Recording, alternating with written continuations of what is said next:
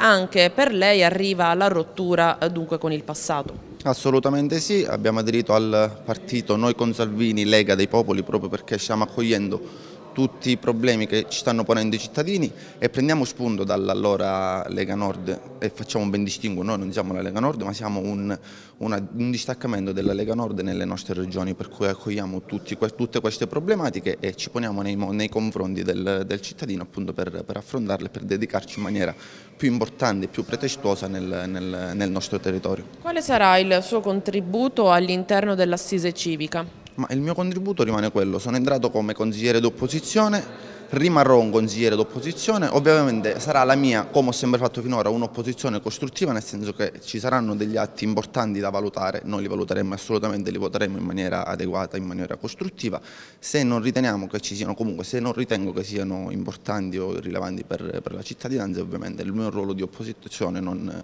non mi farà altro che votare in maniera contraria. E invece al futuro come guarda? Ma, eh, normalmente eh, guardo bene, eh, vediamo cosa, cosa succede nel, nell'ambito del centrodestra perché eh, chi ci conosce siamo sempre stati all'interno del centrodestra e aspettiamo indicazioni per eh, quanto riguarda il futuro, però come ha detto l'onorevole Pagano è giusto cominciare pian pianino con i piedi di piombo partendo giorno dopo giorno per cominciare a ricostruire finalmente quella casa che tutti ci chiedono, quella casa che un giorno avevamo e che speriamo si possa ricostruire nel bene comune della cittadinanza, del nostro territorio e della nostra regione. Pronto a nuove alleanze?